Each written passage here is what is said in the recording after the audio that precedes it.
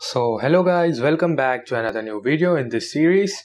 So in this video we are going to talk about a very powerful search engine called Shodan. So Shodan is a very popular search engine among security researchers and this is because this search engine is particularly about finding vulnerable devices by crawling over the internet. So what does crawling mean?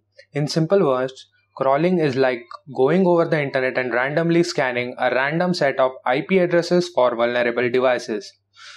This search engine is particularly focused on uh, uh, IoT devices like web cameras or other smart devices which we use in our houses or in our offices.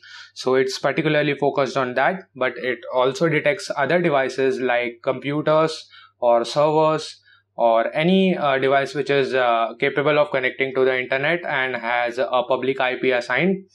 So this uh, uh search engine randomly scans uh, a set of public IP addresses for devices and then lists them.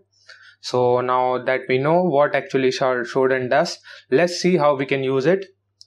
So basically there are three ways to use Shodan so the first way is using the web version or the actual search engine. Here you can use the search bar to search, but uh, in order to start searching for devices, uh, you first need to create an account on Shodan. You can do it easily by using your Google account. And I would recommend you uh, to install and configure a VPN before uh, starting to use this tool because it uh, also lists lists uh, the honeypots of various companies. So these honeypots uh, log the IP addresses of the visitors. So in order to be on the safe side, I would recommend you to configure a VPN or uh, have a VPN running in the background so that uh, you uh, remain anonymous.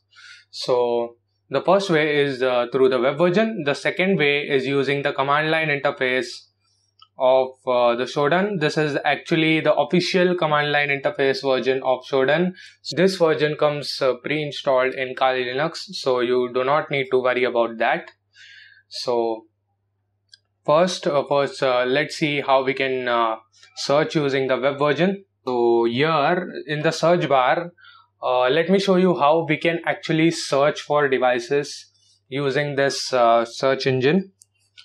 So here let's say for instance i want to uh, search for devices uh, which are running windows xp as their main operating system. So i can use a filter to uh, filter the actual keyword which i want to search for. So i will type os and then i will give a colon.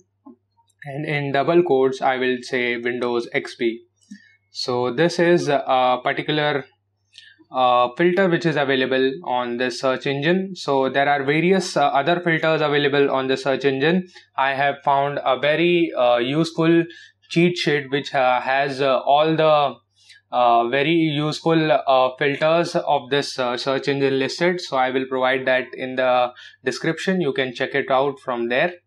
So let's say I want to search for this uh, device which uh, uses Windows XP it's, as its operating system. So as soon as I click on search, here as you can see it started listing all the devices which are connected to the internet and are vulnerable uh, in some kind or the other or uh, just uh, for information purposes it is giving some more information about these devices here so there are a lot of devices uh, from all over the world.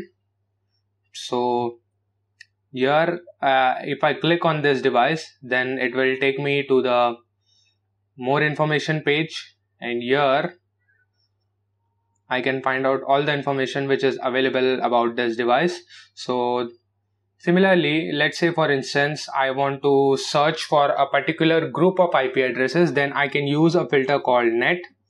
And then semicolon or oh, sorry colon and then in double quotes I will specify the IP range for uh, let's say for instance I will provide 37.28.0.0 slash 16 so this is a public ip range.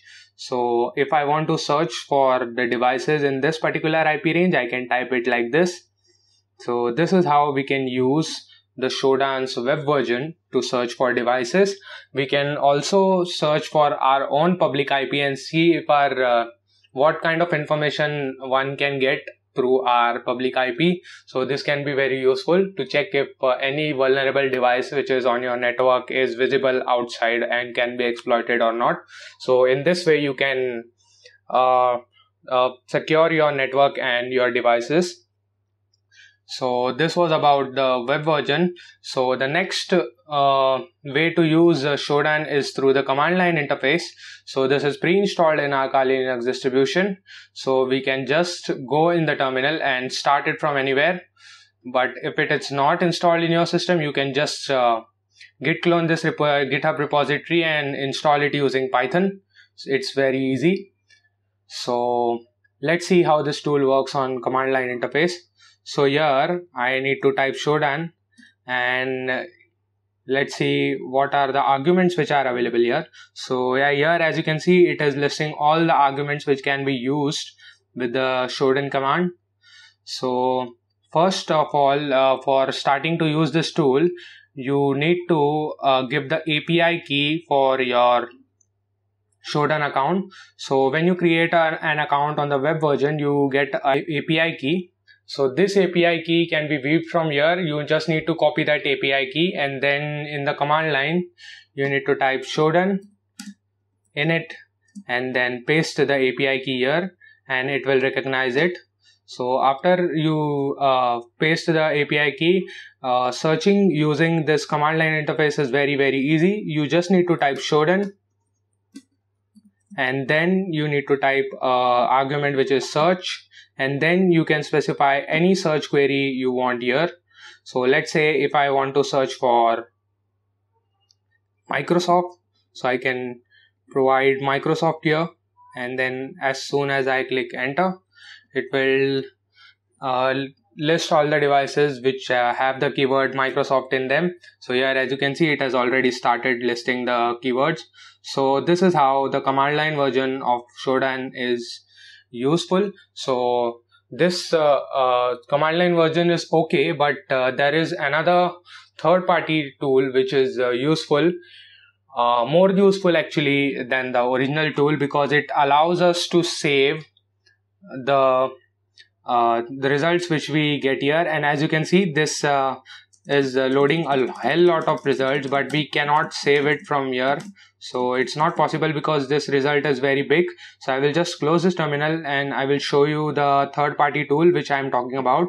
Okay so the third way of using shodan is uh, through a third party tool or a script. So in this video i'm going to use a tool called shodan-eye so this tool is basically slightly better than the original command line version of Shodan or the official version. So this tool is uh, useful because uh, it allows us to save all the search queries into a text file so that we can access it uh, uh anytime again.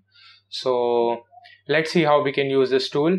So first we need to git clone this tool in our system. I will provide a link in the description. You can just uh, copy it and git clone it in your system.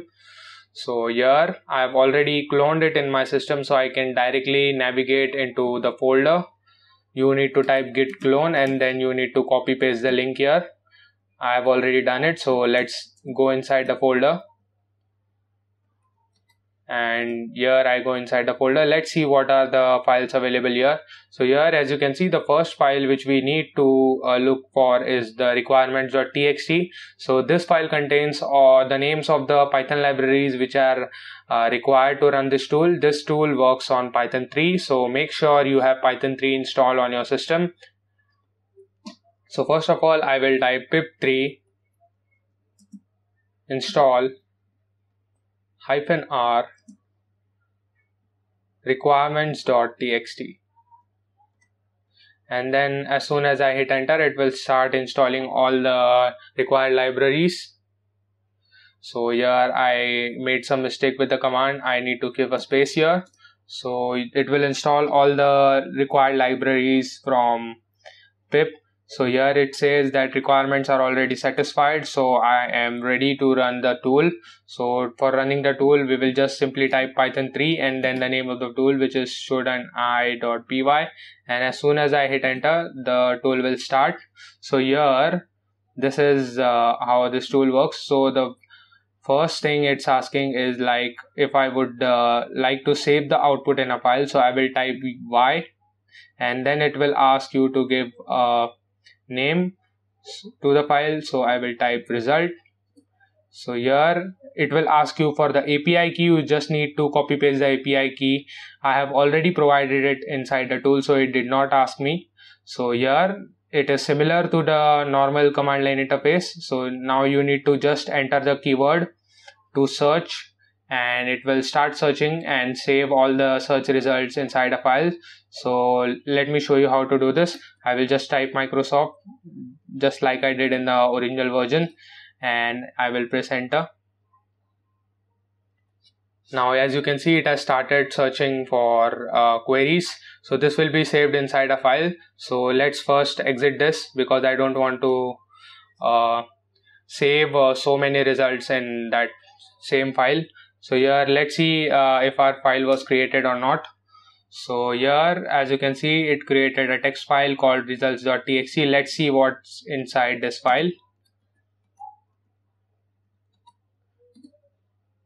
So here as you can see uh, it has uh, listed all the information which we uh, got from so the Shodan API or the Shodan search engine database so this is very very useful information.